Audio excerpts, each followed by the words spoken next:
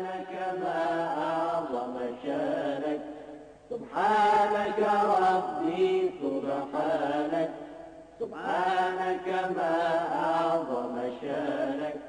ندعوك ونرجو غفرانك ندعوك ونرجو غفرانك.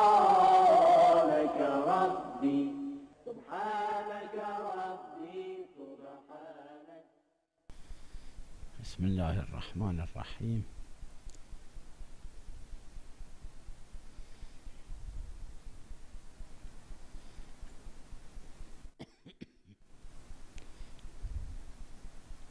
امیدوارم زیارت شما از کریمه اهل بیت حضرت فاطمه معصومه سلام الله علیها. مورد پذیرش و قبول ایشون قرار بگیرد. و این حضرت برای حوائج همتون شفاعت بفرمان.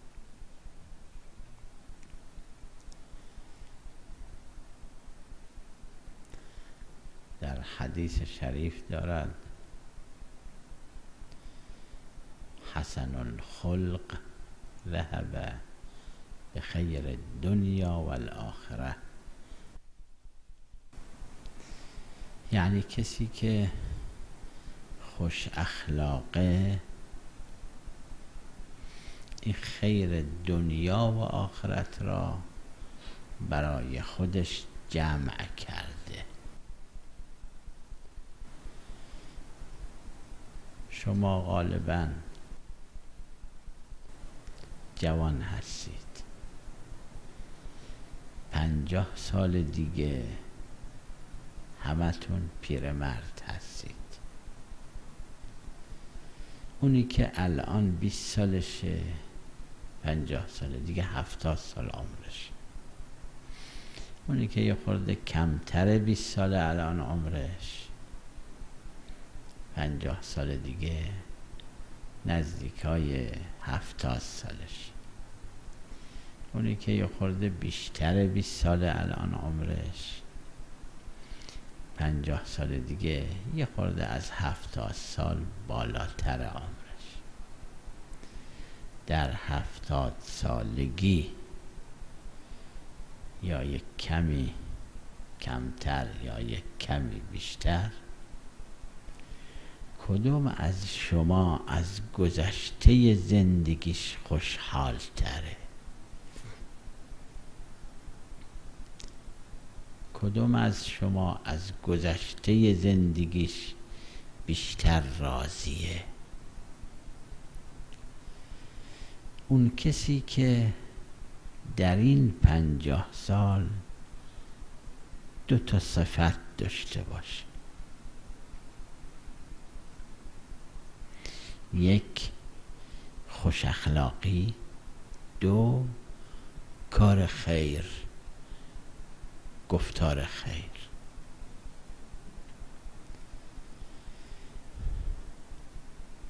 این دوتا سعادت زاست. هر کسی که این دو صفت را دو خصلت را بیشتر داشته باشه. بیشتر انجام بده. این در طول زندگی در مسیر زندگی سعادتمندتره.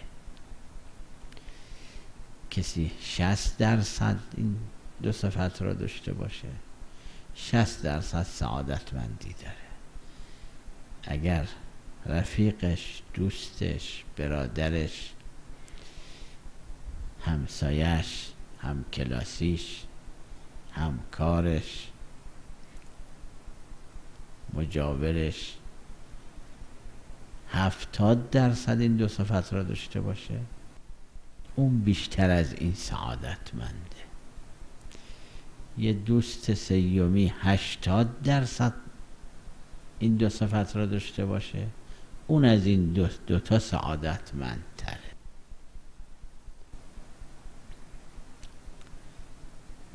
آخرت هم همین جوره.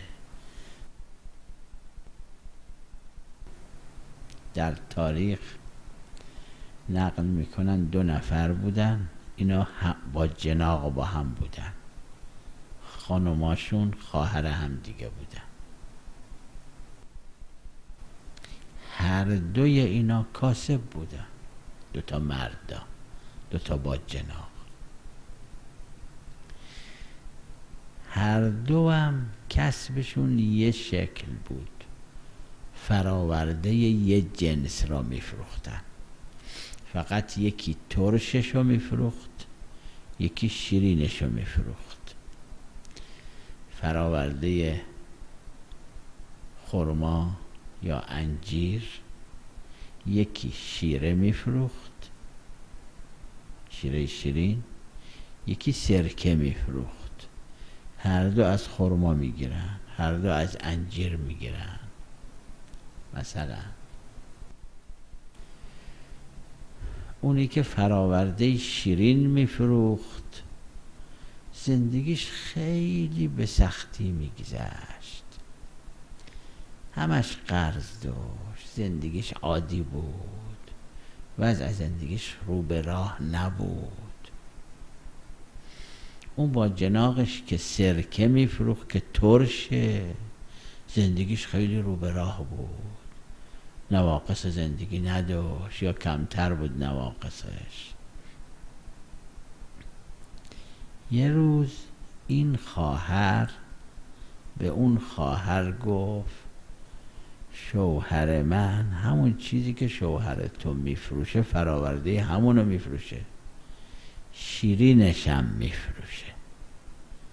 شوهر تو ترششو میفروشه سرکه میفروشه. چطوره که وضع زندگی شما که شوهر ترش رو میفروشه بهتر وضع زندگی ماست که شوهر من شیرینش رو میفروشه؟ خواهر یک کلمه زیبایی به خواهرش جواب داد. یه خواهرم شاید قدری تاریخ خونده بوده کتاب خونده بوده قصه های گذشته ها رو خونده بوده. گفت فرقش اینه شوهر تو شیره که شیرینه میفروشه اما با اخلاق ترش میفروشه. و اخلاقه. شوهر من جنسی که دست مردم میده جنس ترش سرکه است اما با خوش اخلاقی میفروشه شیرین میفروشه. ترش را با شیرینی میفروشه با اخلاق شیرین. اون شیرین را با اخلاق ترش میفروشه. پس اونی که سعادت زاس با اخلاق شیرین دادن دست مردمه ولو ترشی بده دست مردم. اونی که سعادت را کنار می‌زنه دور می‌کنه از انسان. ترش دادن دست مردمه با اخلاق ترش معامله کردن. ولو اونی که دست مردم میده شیرین باشه این مثاله و یک حقیقت این. کسی که خوش اخلاقه خوش برخورده این دنیاش بهتر اونیه که بد اخلاقه و بد برخورده. زندگیشم بهتره زندگی خانوادگیشم بهتره. زندگیش با فامیلش و ارحامشم بهتره. زندگیش با دوستانشم بهتره. این یکی دو کار خیره و گفتار خیر. کسی که زبونش زبون خیره کردارش کردار خیره. دنبال اینه به دیگران خدمت کنه. هر قدر ازش میاد از زبونش از کردارش. این مطلب دیگری صفت دیگری است که سعادت زاست. خدای تبارک و تعالی قسمت های خوب برای این شخص قرار میده. به عکس کسی که کاری به کسی نداره دنبال خودشه فقط. کلمه خیری برای کسی نمیگه کسی راهنمایی کنه. ازش میاد کار خیر برای دیگری نمی‌کنه. حتی تو روایات داره برای حیوانات. انسان به یه گنجیش یه آب بذاره برای گنجشکا یه ریز دون بذاره برای کبوترها. برای حتی مختلف حیوانات. من سفارش می‌کنم شما جوانهای عزیز را. یک کتابی است. این همشهری شما این کتاب را نوشته. کتاب زیبایی هم هست. به نام آقای شیخ موسای خسروی که چند سال قبلم تو مشهد فوت شد ایشون حالا این مثلا تو جلسه ما کسی هست ایشون دیده یا ندیده. یک کتابی داره به نام پند تاریخ. شیش جلد هفت جلد. هفت این کتاب رو گیر بیارید. ولو از دوستانتون اگه قوتون می‌رسه بخرید. اگه قوتون نمی‌رسه یکی بخره ده نفر از همدیگه بگیرن نگاه کنن. بخونید این کتاب را این کتاب مواد سعادت زار توش نقل کرده. هم آیات قرآنی هم روایات و احادیث شریفه. هم قصه هایی که تو روایات یا تو تاریخ اومده. کتاب آموزنده خوبیه. تو همون کتاب این قصه که حالا عرض می‌کنم نوشته. البته تو کتاب های دیگه هم نوشته. مرحوم علامه مجلسی در بحار نقل فرموده این را. قبلی ها هم نقل کردن. روایت داره در امم سابقه در یک ده یه خانم فقیر بود. نزدیک دهشون دریا بود یا رودخونه بود. فقیر بود. سابقام که تو خونه ها شیر آب و اینا نبوده. برای ظرف شوری رخ شوری می‌رفتن لب رودخونه لب دریا. این هفته یه روز دو روز این خانم ور می داشت ظرفا لباسا اینا رو می برد لب رودخونه لب دریا لب آب. یه صبح تا عصر اونجا بود. اینا رو می شست لباسا رو می شست پهن می‌کرد رو سنگا تا خوش بشن. ظرفاش رو می شست یه صبح تا عصر اونجا بود. برای خودش دو تا قرص نان می برد دو تا قرص کوچیک نان.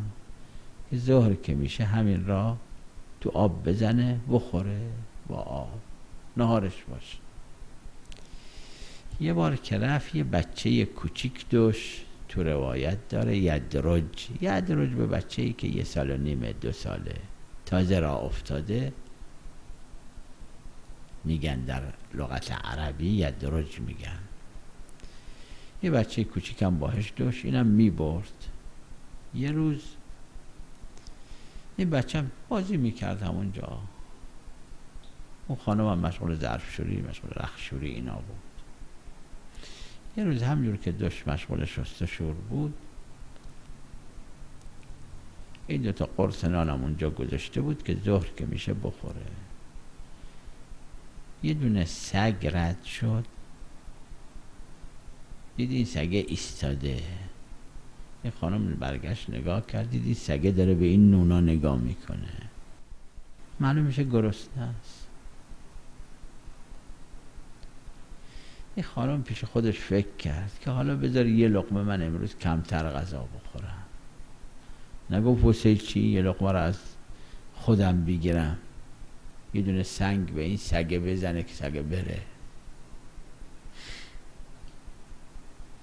این دل خوب به فکر کار خوبه. میگه این از من میاد. خب چرا نکنم اینو؟ پیش خودش فکر کرد. حالا امروز من یه لقمه کمتر نهار بخورم. چه اشکال داره؟ یه لقمه از این نان کند و انداخت جلو سگ. سگم خورد و رفت. تو روایت داره همون روز. یه ساعت بعدش نیم ساعت بعدش دو ساعت بعدش. همینجوری که مشغول ظرف شوری رخ شوریش هرچی بود یه وقتی داد بچه در اومد برگشت نگاه کرد دید یه گرگ پشت گردن بچه این لباس های بچه رو به دندون گرفته سریع داره میره. یه بچه یه سال نیمه دو ساله مثلا. این مادر هم شروع کرد دویدن دنبال گرگ تو صحرایی که هیچکی نیست. این کار دویدن یک خانم دنبال یک گرگ تو صحرا این از دو جهت غلطه از نظر عقل که حساب کنه یکی اینه این خانم به پای گرگ نمی‌رسه. خانم ساعتی چند کیلومتر می‌تونه بدوه گرگ سریعتر میدوه یعنی دویدن لغوه بی خوده این چرا میدوه می‌خواد بچهشو بگیره. ثانیا حالا برفرض رسید به گرگ. مگه گرگ حیوان درنده تو صحرا از یه دونه شخص میترسه؟ خب این برمیگرده خود مادره هم پاره می‌کنه. این هم یه غلط دویو اما مادر روی عاطفه مادری دیگه فکر غلط و درست نکرد. شراکت دویدن دنبال گرگ. فاصلش با گرگ سه متر بود شد چهار متر شد پنج متر شد شیش متر. فاصله بیشتر میشه چون اون گرگ سریعتر میدوه. بر فرضم فاصله کمتر می‌شد و می‌رسید گرگ پارش می‌کرد. بچه رو پاره می‌کرد مادر رو پاره می‌کرد. روایت داره یه وقت گرگ بچه رو گذاشت زمین و فرار کرد. یه کاری که هیچ گرگی نمی‌کنه. گرگ گرگ گرسنه. صحرا حالا یه مشتی باشن. سلاحی باشه چوبی باشه گرگ بترسه. گرگ بچه رو گذشت و فرار کرد. در امتهای قبل از اسلام مکرر این اتفاق افتاده. افراد عادی گاهی صدای ملائکه رو میشنیدن. یعنی ملائکه یه چیزی می‌گفتن اینا میشنیدن. که خودش یه جریانی داره. از نظر دستگاه الهی. این خانم همجور که میدوید دنبال گرگ فاصلش هم با گرگ دوش بیشتر می‌شد گرگ دورتر می‌شد گرگ بچه رو گذشت زمین و فرار کرد. یه وقت این خانم یه صدایی از بالا شنید بهش گفتن لقمتون به لقمه. یه لقمه دادی یه لقمه بهت دادی. چقدر فرق بین این دوتا لقمه است. یه لقمه نون چقدر قیمتش که به سگ داد. خدا جاش یه لقمه داد یعنی یه بچه شو بهش برگردون. این بچه پیش این مادر قیمت چند هزار قرص نون داره؟ قیمت چند میلیون قرص نون داره؟ کار خیر اینجوری به انسان برمیگرده. گاهی نزدیک هم میشه یه لقمه به سگ داده بعد یه ساعت دو ساعت نیم ساعت بیشتر کمتر بهش برمیگرده. میگنم این مال اونه این جواب اونه. آدم می‌فهمه. گاهی فاصله میشه انسان نمی‌فهمه این از اونجاست یه وقت می‌بینید همین شما از یک بلای بسیار بزرگ نجات میایید به خاطر یک کار کوچیکی که ده سال قبل کردید. پنج سال قبل کردید. پدر مادر ارهام یه حرف تندی به شما زده. شما جوابشو بلد بودی می‌تونستی بدی اما حلم کردی. خوردی این حرفو جواب ندادی. این اسمش حلمه. یه وقت می‌بینه همین یه حلم از یه تصادف آدم نجات میده.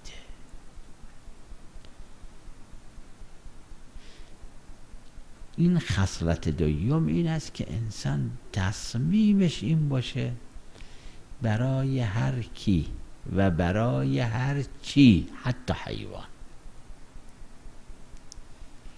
هر کار خیری از زبانش از دستش میاد انجام بده. دو نفرن تو فامیل یا تو دوستان شما اختلاف خانوادگی دارن سعی کن صلحشون بده. شد شد نشد شما سعی خودتو کن. یه وقت می‌بینید صد درصد موفق میشه صلح می‌کنن. یه وقت نه ده درصد موفق میشه یه وقت می‌بینید 20 درصد موفق میشه انجام بده. فلان فامیل فلان دوست فلان آشنا بیکاره کار نداره. تشویقش کن سعی کن کار پیدا کنه بیکار نباشه. فلان جوان می‌خواد ازدواج کنه مشکلی داره. شما می‌تونی کمکش کنی ولو کمک زبونی یا کمک پولی. یا واسطه بشی. بکن این را.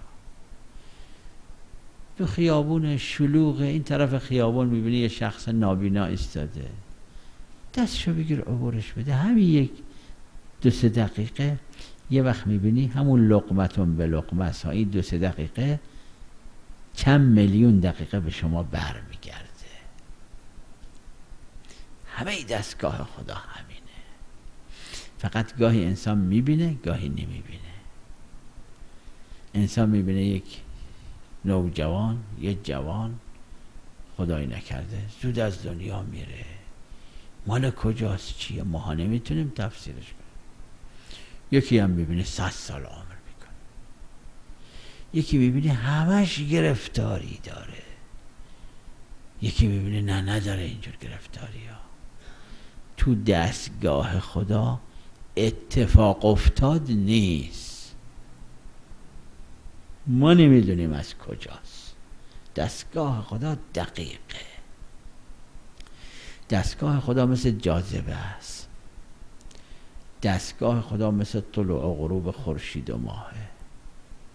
امروز روز فرض بفرمایید چندم ماه در منطقه مشهد مقدس در منطقه قوم مقدس خورشید در چه ثانیه طلوع کرده؟ یه میلیون سال قبل همچی روزی همین وقت طلوع کرده خورشید. یه میلیون سال بعد همچی روز در سال باز همین وقت طلوع می‌کنه خورشید. دستگاه خدا اینقدر دقیقه. خورشید یک کره آتش سابقا من شاید چل سال قبل اینو خوندم. نمی‌دونم حالا نظریه عوض شده یا نه. نوشته بود انقدر خورشید تو داخلش داغه که درجه حرارت یازده هزاره. و فولاد تو خورشید مثل گاز حرکت می‌کنه. یه کره آتیش بی این عظیمی حتی نیم ثانیه جلو و عقب نمیشه مسیرش نیم ثانیه. دقیق ترین هواپیماها دقیق ترین موتورها دقیق ترین ماشین ها دقیق ترین ساعت ها آخرش کمی کم و زیاد داره شنیدی ساعت بیگ بن؟ که اخیرا هم گفتن چند دقیقه ایستاد چه وقت؟ برای اولین بار. میگن اینم الا در چقدر سال چقدر ثانیه فرق می‌کنه. دستگاه خدا هیچ فرق نمی‌کنه. یه میلیون سال قبل همین بوده دستگاه خدا. حالا هم همینه. یه میلیون سال بعدم همینه. قرآن کریم هم اینو فرموده. سنت الله التي خلت ولن تجد لسنت الله تبدیلا. شما نوجوان ها و جوان های عزیز تصمیم بگیرید از همینجا و همین امروز این دوتا خصلت را بیش از پیش دارا باشید. یکی با همه خوش اخلاق باشید. با شخصی که با شما خوش اخلاقه و با شخصی که با شما بد اخلاقه. اگه شخصی به شما بد اخلاقه که شما نکنید. اون ضررش رو می‌بینه شما مثل اون ضرر نبین. واسه چی؟ اون داره تو چا میندازه خودتو شما هم تو چا بندازی خودت. این چاست. بد اخلاقی چاست. بد اخلاقی مشکله. بد اخلاقی بد عاقبته. قبل آخرت تو دنیا.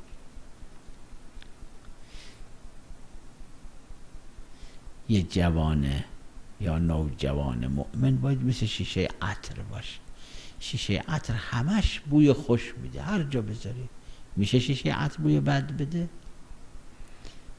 تو جیبتون بذارید بوی خوش میده. تو اتاق بذارید بوی خوش میده. اگه یه جایی که بوی بدم هست بذارید اونجا شیشه عطر بوی خوش میده. اگه یک کسی هم جنایت کرد به این شیشه عطر زد زمین شکست. به همونی که شکسته عطر میپاشه. نمیگه این منو شکست. حالا شیشه عطر نمی‌تونه بوی بد داشته باشه. انسان می‌تونه خوش اخلاق باشه و می‌تونه بد اخلاق باشه. حتی اگر کسی با شما بد اخلاقی می‌کنه شما نکنید.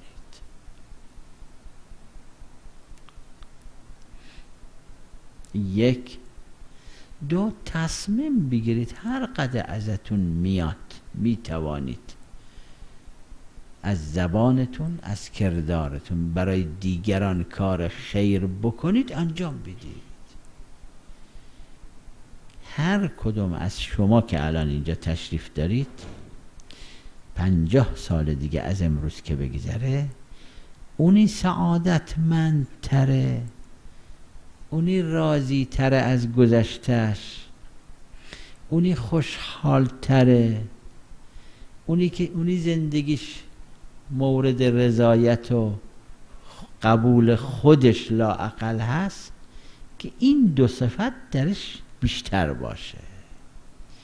امیدوارم به برکت این کریمه اهل بیت که در زیارتشون مشرف هستید و اون آقای بزرگوار امام معصوم آقا حضرت رضا علیه السلام که از شهر مقدسشون شما تشریف آوردید و به این شهر مقدس مشرف شدید و در این آستانه و ایام سوگواری و عزاداری بیبی بی دو عالم حضرت فاطمه حضرت فاطمه زهرا صلوات الله و سلامه علیها امیدوارم خدای تبارک و تعالی به برکت و بزرگواری و عنایت این بزرگواران همه شما را بیش از پیش موفق به این دو خصلت و دو صفت بدارد.